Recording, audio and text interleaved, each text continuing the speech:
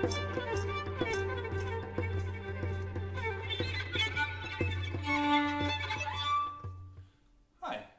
I'm Chris Brooks, and I'm trying to improve in the art of improvisation.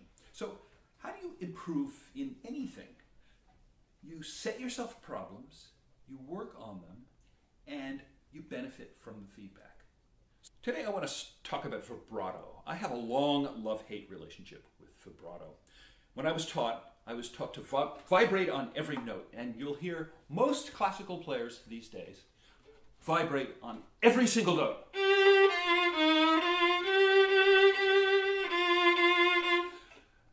No wonder they're tense.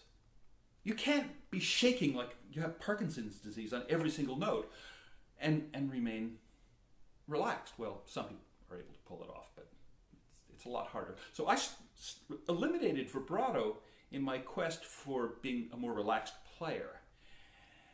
Then, as part of working on improvisation, I would record myself, which I still do a great deal. And I noticed that vibrato really didn't work very well in improvisation. It felt fine, particularly in jazz, but really in, in everything I do. Vibrato, a classical vibrato sounds very artificial and, and uh, kind of stuffy. So when you eliminate vibrato, you realize that there are all sorts of ways that you can manipulate a note. So I take a note and I can do things with the bow, or I can adjust the pitch, which is kind of like vibrato.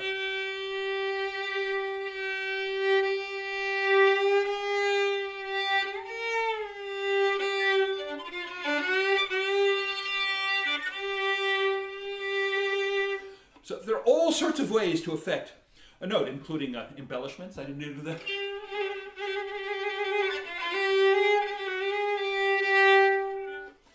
So once you eliminate vibrato, all these other possibilities open up. So to a classical violinist who wants to be a better improviser, that's me, I would recommend eliminating vibrato entirely. And when you've discovered all the other ways that you can approach expression, invite it back in, but in its appropriate place. So I'm really curious to hear what you come up with now, and what would you like to hear me work on?